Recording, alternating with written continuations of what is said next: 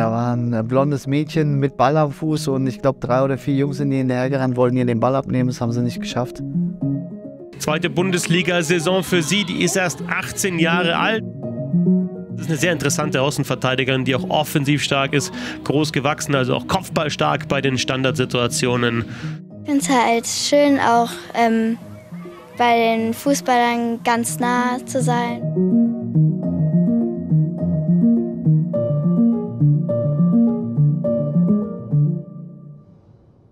Vor drei Sekunden war noch alles in Ordnung. Vor drei Sekunden habe ich hier ganz normal gespielt, habe das gemacht, was ich gerne mache. Und dann einfach aus dem Nichts, so zack, wird man da irgendwie rausgerissen.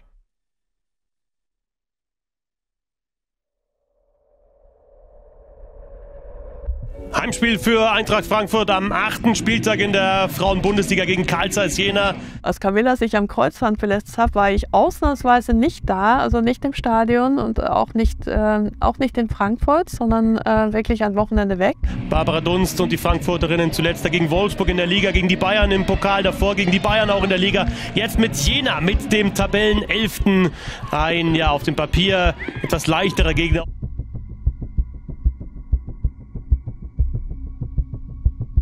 Ich war essen und ich habe nicht mal das Spiel richtig geguckt, sondern habe immer so auf dem Handy so ein bisschen geguckt. Gegen Jena war ja auch, gut, ich habe gesehen, die führen 1-0, 2-0, 3-0. Und äh, irgendwann habe ich gesehen, die führen 6-0 und dann habe ich irgendwie das Handy auch weggelegt so ein bisschen und habe gedacht, also da passiert nichts mehr.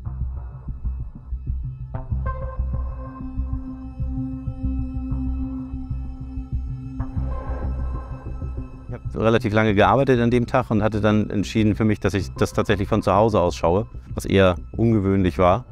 Und ähm, ja, zu Beginn der zweiten Halbzeit dann ähm, ist sie ja ohne Fremdeinwirkung dann auch liegen geblieben. Küver ja, zieht wieder auf ihren stärkeren rechten Fuß. Küver verletzt. Das kam ja so schnell. Ich meine, eigentlich wollte ich nur einen Richtungswechsel machen. Ich höre es knacken, ich spüre es knacken. Dachte ich auch so, sie müsste jetzt ja dann, also sie wird schon wieder aufstehen. Habe ich dann gleich, ähm, gleich telefoniert und ähm, gehört, ja gut, wie es ihr geht. Und äh, Verdacht war ja recht schnell da. Aus irgendeinem Grund wusste ich sofort, hatte ich so sofort ein Gefühl, was es ist. Ich habe als erstes gedacht, sie ist nur umgeknickt. Also sprich, ich habe eher eine, eine Verletzung am, am Sprunggelenk rum erstmal erwartet. Aber als dann die, die Wiederholung lief, ähm, ja, bin ich eigentlich sofort ins Auto gestiegen und hergefahren. Das ist definitiv was Schwereres. Ich war nicht vor Ort, ich habe das Spiel nicht betreut, ich habe es aber natürlich ähm, am Fernsehen mitverfolgt und das war mir da, da schon klar und konnte das in der Zeitlupe auch noch ein paar Mal sehen. Häufige Verletzungen vor der Kreuzband, Ruptur linkes Knie. Ich glaube, sie kann nicht weitermachen.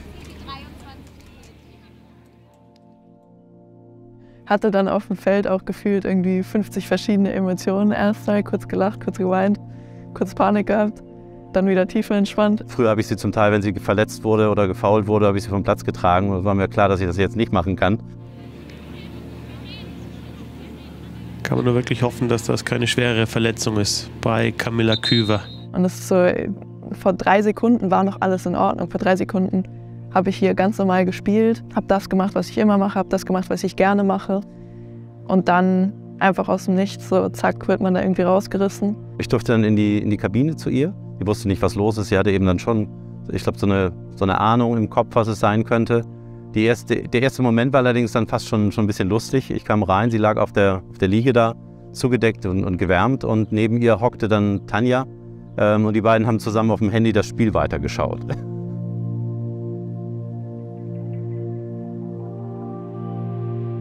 Das nimmt natürlich auch, auch den Trainer mit. Das hat mir auch sehr wehgetan in dem Moment. Ich konnte mich über den Sieg gar nicht so richtig freuen. Und man hat auch der Mannschaft auf dem Platz angemerkt, ja, dass danach auch nicht mehr so viel lief. Da hat sich Jena jetzt auch wieder ein bisschen gefangen und Frankfurt zieht auch nicht komplett durch. Sind meine ersten beiden ähm, Saisontore und ja, freue mich natürlich ähm, echt, aber ich muss auch echt sagen, die Verletzung von der Camille überschattet das Ganze natürlich schon sehr. In Deutschland und USA ist das so, dass wir schon äh, gerade bei Profisportlern auf jeden Fall dazu tendieren, die so schnell wie möglich zu operieren. In dem Fall war das München. Ja. Und da sind wir nach München dann gefahren und hatten sogar einen ganzen Tag eine schöne Mutter-Tochter-Zeit, fand ich. Man hat ja oft mit so einem Sportlerkind nicht so viel Zeit sonst äh, den ganzen Tag zu verbringen, weil ja immer was ist. Ja, und dann musste ich sie dann am nächsten Morgen dann abgeben, äh, ins Krankenhaus gebracht. Das war wegen Corona natürlich auch so, dass sie gleich gesagt haben, dass man, ich durfte wirklich gerade die Tasche praktisch hinstellen ne? und äh, dann musste ich auch gleich wieder weg. Also das war irgendwie auch nicht so schön natürlich. Man wäre gern dabei gewesen.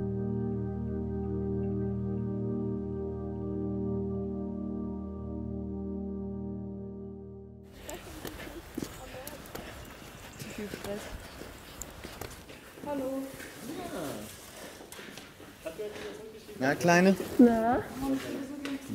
Hey. Sieht doch gut aus. Man kommt halt in die Kabine rein und das hat man natürlich irgendwie sonst auch gefühlt jeden Tag gemacht. Jetzt war es halt anders. Also ich, ich bin halt nicht in Trainingsklamotten auch reingekommen.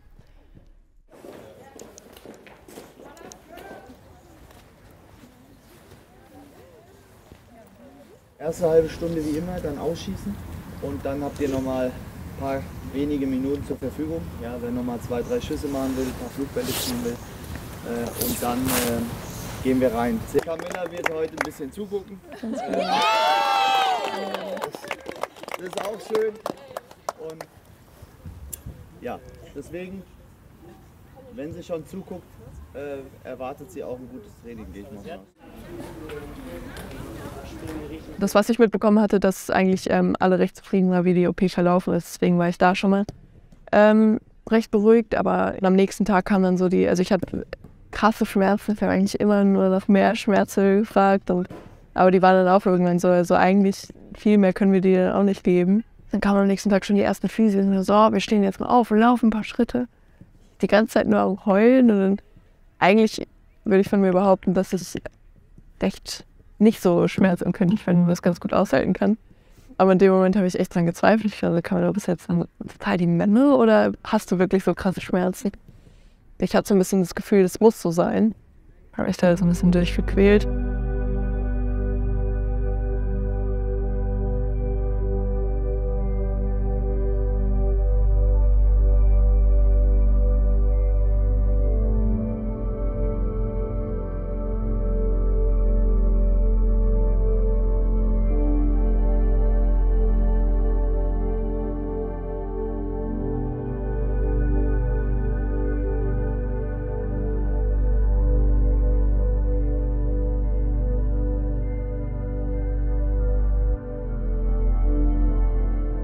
Dezember war ich zum ersten Mal in der Reha.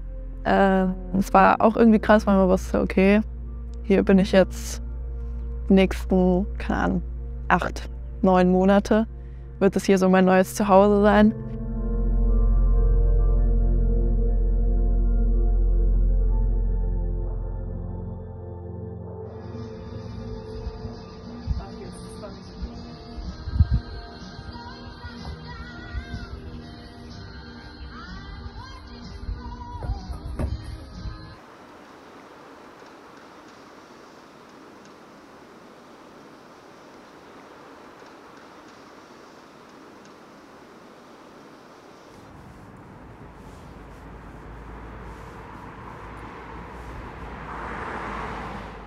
Wie war das Training gestern? Karina meinte, du hattest außen ein bisschen Schmerzen gehabt.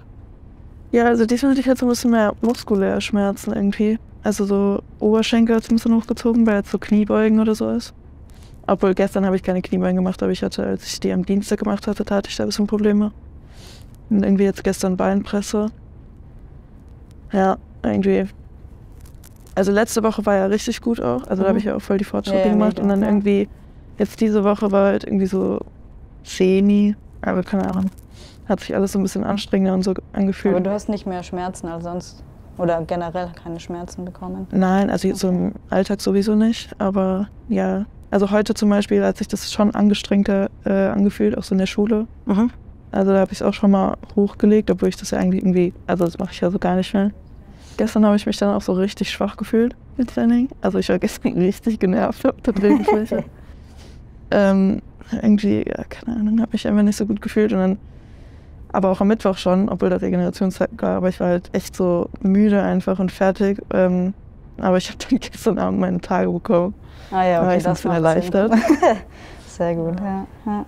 Aber ich finde schon krass. Also ich merke das richtig krass. Ein Unterschied. Ist auch, äh, du hast hier jeden Tag Belastung.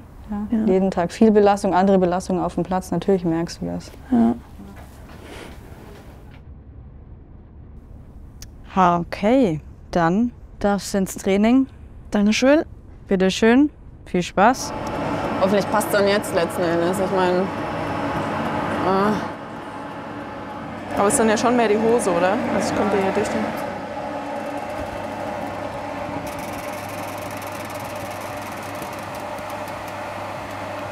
Schauen wir mal.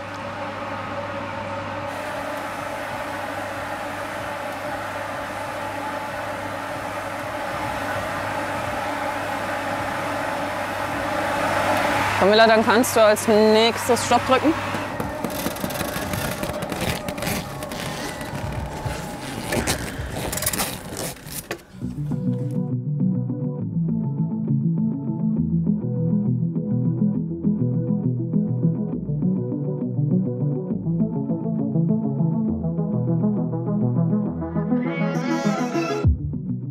Camilla, Top 10 in der Welt. Was sagst du dazu? Ähm, ist verrückt, ist auf jeden Fall eine Ehre. Hätte ich jetzt gar nicht so mit gerechnet. Gold ist die größte Fußballplattform weltweit und bei den Next Gen Awards zeichnen wir jedes Jahr die größten Fußballtalente der Welt aus. Zur Auswahl stehen alle Spielerinnen und Spieler, die zu diesem Zeitpunkt noch Teenager sind, das bedeutet 19 Jahre oder jünger. Also die Auszeichnung kam halt irgendwie überraschend, weil ich halt irgendwie so komplett aus dem Pack hergezogen wurde und irgendwie dann doch nicht so viel mit Fußball halt in der Zeit zu tun hatte. Also neunter Platz irgendwie weltweit ist schon äh, was sehr Besonderes und eine große Wertschätzung und war in dem Moment dann auch einfach eine große Motivation für mich, um dann weiterzumachen. Camilla ist sowieso immer motiviert, äh, äh, um, um ja, Maximales abzurufen. Sie will alles erreichen, was man erreichen kann. Das ist auch gut so. Und ich glaube, so eine Auszeichnung ist nochmal eine Zusatzmotivation, ist, äh, wo sie merkt, oh, da bin ich ja wirklich auf dem richtigen Weg, ist eine Bestätigung. Und dementsprechend äh, hilft es ihr natürlich auch äh, für die Zukunft, weil sie auch weiß, dass dieser Weg der richtige ist. Schon im Überalter mit 17 Jahren in der Bundesliga zu spielen und dann auch noch in einem Pokalfinale in der Startelf zu stehen, ist sehr selten für diese Altersklasse und rechtfertigt dann auch ihre gute Platzierung bei Next Gen. Also es geht alles irgendwie um einen herum weiter und man hat dann einfach erstmal nicht so viel mit dem Fußball so zu tun. Ja, und das war so ein bisschen auch fast so eine kleine Erinnerung, so ein bisschen so, ja, du wirst hier jetzt nicht komplett vergessen, nur weil du jetzt äh, verletzt bist und in der Reha bist. Ähm, deswegen, das hat schon geholfen auf jeden Fall.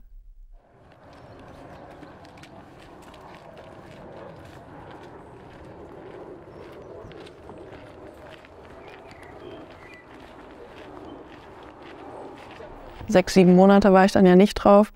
Ja, und dann halt wieder auf dem Platz zu stehen und wieder die Fußballschuhe äh, zu schnüren und nicht nur die Laufschuhe, war, ähm, war schon sehr besonders und ich habe mich auch mega gefreut auf den Tag. Ich war ein bisschen nervös, so, ähm, ja, wie schlimm wird es sein? Wie sehr wird mir vielleicht der Ball verspringen? Oder das ist ja schon so der Moment, wo man merkt, okay, das war, also ist jetzt schon ein bisschen her, dass man am Ball war. Und vielleicht so ein bisschen nervös, um zu sehen, so, ja, ähm, wie viel fehlt da jetzt noch? Man war jetzt so lange in der Reha irgendwie geduldig, war so lange nicht am Ball und wenn man dann wieder am Ball ist und wieder weiß, wie besonders es ist und ähm, das ist ja auch so, man nimmt das ganz anders wahr, ähm, dann will man natürlich auch so schnell wie es geht wieder zu dem Gefühl zurück, was einem der Fußball halt davor gegeben hat, wenn man einfach total befreit aufgespielt hat. Das, was gefehlt hat, ist eigentlich das, was für mich Fußball so besonders macht und was mir dann an Fußball auch so viel Spaß macht.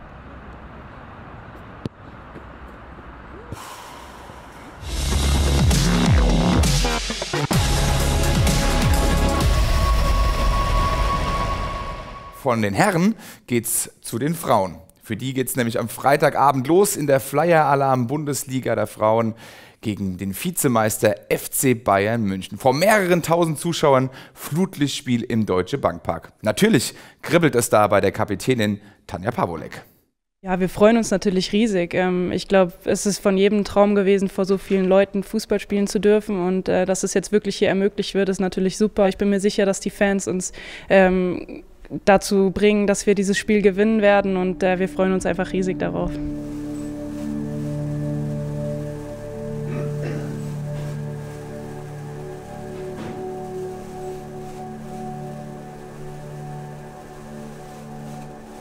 Man denkt viel, man, man ist so in einem Tunnel drin, man freut sich, man hat eine gewisse Anspannung, äh, eine kleine Nervosität, die man braucht. Und ich liebe dieses Gefühl und ähm, es ist wie so eine Sucht. Ähm, also wie wenn du richtig Hunger hast ne? Äh, und, und dann was zu essen bekommst.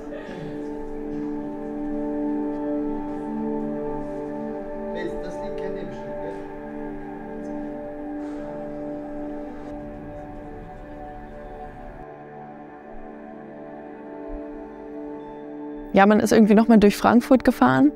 Man fährt da so am Main entlang und man weiß, man spielt jetzt hier irgendwie für die, für die Stadt und freut sich halt total, vor allem auch wenn halt so Menschen da in Richtung Stadion laufen, ist was total Besonderes.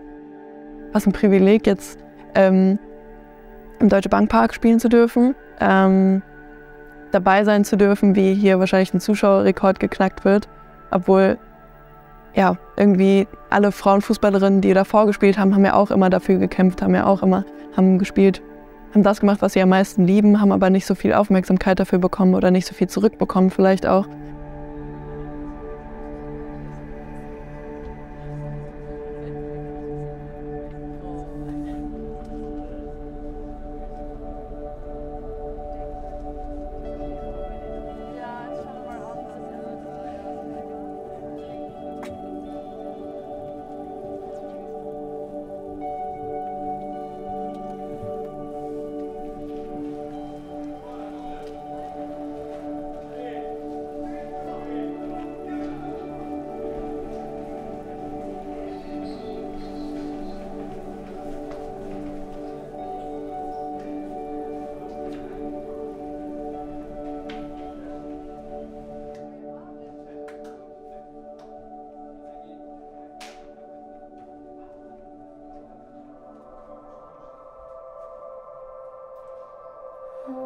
Camilla war kein besonders typisches Mädchen. Ähm, vielleicht durch diesen Bewegungsdrang, dass sie halt von Anfang an auch viele Jungsfreunde hatte im Kindergarten und auch sonst in der Schule später und äh, viel getobt hat. Sie war tatsächlich immer sehr voller Energie und ähm, ich weiß, sie hatte irgendwie mit zwei Jahren, hat sie glaube ich diese Karre da verlassen und die ist nie wieder eingestiegen, sage ich immer, die ist immer nur gelaufen und meistens so die dreifache Strecke von uns anderen. Sie hat halt unheimlich gern viel Sport gemacht. Das war ja nicht nur Fußball, sie hat auch andere Sportarten in der Zeit gemacht. Also alles, was irgendwie einen Ball hatte, ob sie Tennis gespielt hat oder äh, Leichtathletik viel gemacht hat, auch in der Zeit. Miller war damals als Neunjährige bei uns in der Sichtung in der Schule. Und damals äh, hat sie sich sogar für die Schule, ähm, für, das, äh, für das Projekt der Leichtathletik entschieden. Und wir sind damals so verblieben, auch mit den Eltern, dass wir gesagt haben, okay, und äh, spätestens zur siebten Klasse sollte man dann eine Entscheidung treffen, welche Sportart man äh, dann letztendlich äh, komplett machen möchte.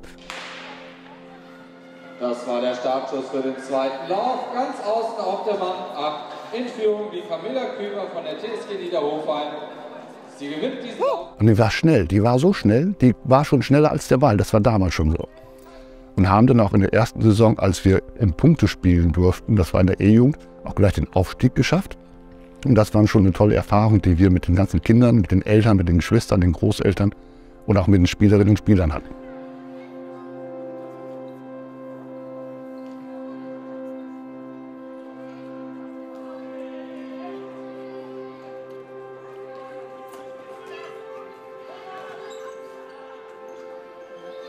So, sie, äh, glaube ich, hat die ersten Spiele im Verein oder die ersten Trainings im Verein gemacht mit vier, fünf Jahren ist ähm, sehr stark getrieben auch durch ihren Bruder, der ist drei Jahre älter.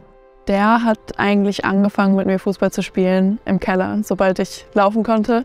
Da stand dann immer ein großes Tor drin, das heißt, ich habe da immer viel gespielt, als ich noch klein war und ähm, dann hatte ich ja auch gerade angefangen eigentlich mit dem Fußball.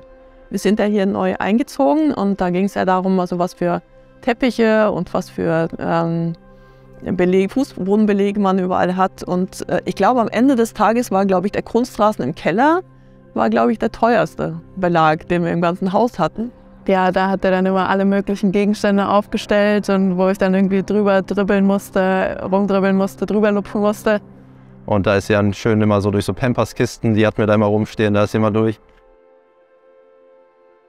Als Camilla mal ganz klein war, kam sie mal hoch tatsächlich und hat geweint, weil Finn gemeint hätte, sie hätte nicht die Tore machen müssen durch Lüpfen und nicht vorbeischießen an den Kästen.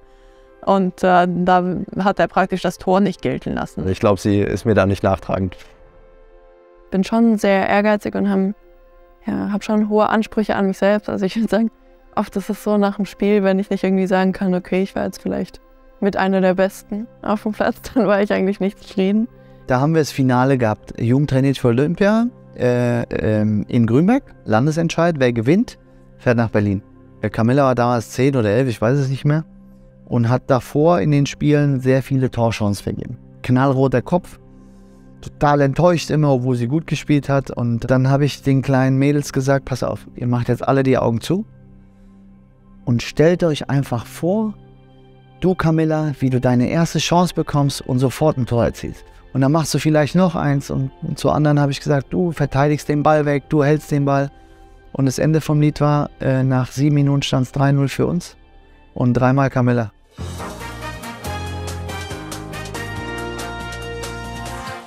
Morgen ist ein großer Tag, Europapokal, Heimspiel der Eintracht. Und egal, ob die gewinnt oder verliert, es wird ein unvergesslicher Tag für elf Jungs und Mädels, die mit den Spielern hoch ins Stadion laufen. Da müssen sie morgen rauf. Die letzten Stufen zum großen Europapokalspiel. Der große Tag für diese Jungs und Mädchen, die E-Jugend der SG Oberliederbach im Taunus. Die kleinen Kinder haben dann alle ihre Trikots angekriegt. Wir haben mit denen Übungen gemacht, haben Spiele gemacht hier. Und bei diesem Termin mit dem Hessischen Rundfunk hat die damalige Reporterin auch Fragen an Kinder gestellt. Die Kinder waren damals neun Jahre alt, zehn Jahre alt und entsprechend süß waren natürlich die Antworten. Ich finde es halt schön, auch ähm, bei den Fußballern ganz nah zu sein. Eine geschichtsträchtige Kulisse im Deutsche Bankpark in Frankfurt zum Eröffnungsspiel in der Frauenfußball-Bundesliga. Und eins kann ich Ihnen jetzt schon verraten, wir werden die Rekordmarke von 12.464 Zuschauern heute definitiv knacken. Ich kenne das Stadion halt sonst nur als Zuschauerin. Ähm, schauen mir natürlich auch immer gerne die Spiele der Männer an. Und dass man dann selber da unten auf dem Platz steht und ähm, ja, die eine Tribünenseite war ja komplett voll. Ähm, das ist schon super besonders und dann gerade auch gegen so einen großen Gegner wie Bayern. Jetzt ist sie eröffnet, die Frauen-Bundesliga-Saison 2022, 2023.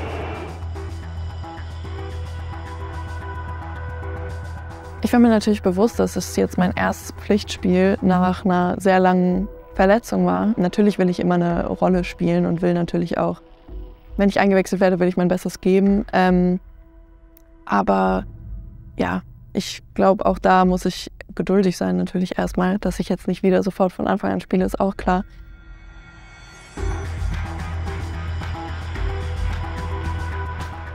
Das Schlimmste in meinem Beruf ist, äh, eine Aufstellung bzw. einen Kader bekannt zu geben, weil es mir immer sehr, sehr schwer fällt, gerade wenn man diese Charaktere so mag und gerade auch, wenn man sieht, wie viel sie investieren und wie gut sie es auch machen.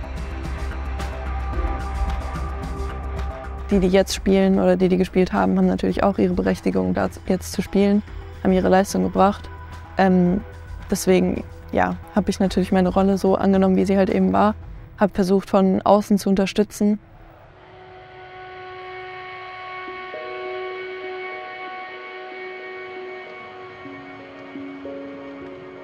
du willst niemanden dann auch da reinbringen, wenn es dann hart auf hart kommt äh, und äh, äh, du in, in einem zerfahrenen Spiel, was hoch und runter geht. Das ist dann nicht so einfach. Nach dem Abpfiff, ich ähm, ja, bin halt auf dem Platz, habe irgendwie äh, meiner Mannschaft, meine Mitspielerin, wollte denen halt irgendwie gratulieren, weil es wirklich ein gutes Spiel war.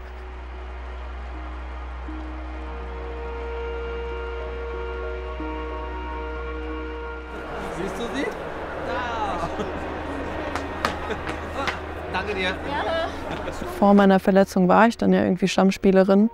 Ähm, und das will ich auf jeden Fall wieder sein. Also das ist ganz klar. Ich glaube, jede äh, Spielerin hat das irgendwie als ihren Anspruch. Aber gerade auch wenn ich halt eben dran zurückdenke, dass es schon mal so war, will ich da auf jeden Fall wieder, wieder hinkommen. Ähm, wieder eine große Hilfe und große Stütze auch für die Mannschaft sein.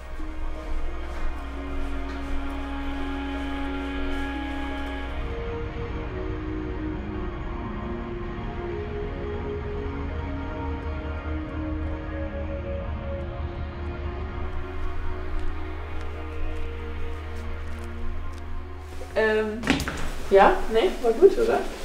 Ja. Also mir hat es sehr gut gefallen. Ja, das Spiel war echt cool. Die Stimmung war cool, ne? Ja, mega. Ja. Also vor allem da mal auf die Wand zu gucken, das war schon. Und das war ja auch verdient, ne? Also beziehungsweise Ja, ein Punkt auf jeden Fall, mindestens. Und wenn jemand hätte sagen. gewinnen können, finde ich, wäre das ja ihr gewesen. Ab 83. Minute kommt Camilla und dann schöne Ecke und Kopfballtor von dir. Das hat uns doch gefehlt. Das hat noch gefehlt. Das ja. hat uns doch gefehlt. Ja, irgendwann anders vielleicht. Ja. Vierter Spieltag der Flyer Alarm Frauenfußball Bundesliga. Die SG Essen empfängt Eintracht Frankfurt.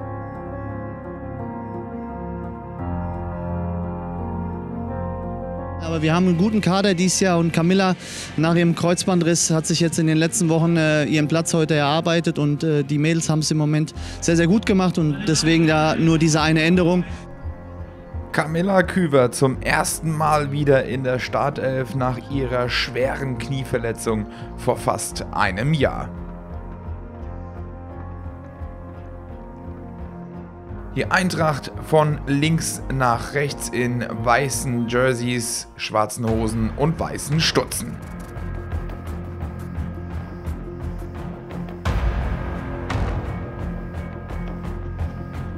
Eintracht Frankfurt kriegt einen Freistoß zugesprochen nach dem Foul an Geraldine Reuteler. Und Barbara Dunst und Lara Praschnika stehen da und diskutieren noch aus, wer den Freistoß ausführt. Es sieht nach Barbara Dunst aus. Dunst bringt den Ball rein in den 16er und das Küber!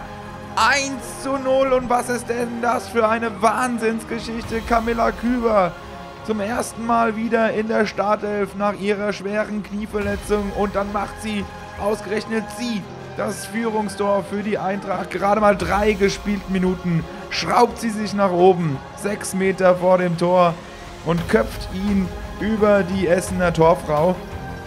Und das Lachen, na klar, das steht hier ins Gesicht geschrieben. Was für ein Comeback von Camilla Küber. Ja, ich bin natürlich mega froh, dass ich jetzt äh, wieder ein Spiel von Anfang an machen durfte, ähm, nach der ganzen Zeit. Und ja, habe mir erstmal vorgenommen, die Basics irgendwie gut hinzukriegen, ähm, gut ins Spiel zu kommen. Die Freude war dann auch über den Sieg, aber auch über ihr Comeback äh, sehr, sehr groß.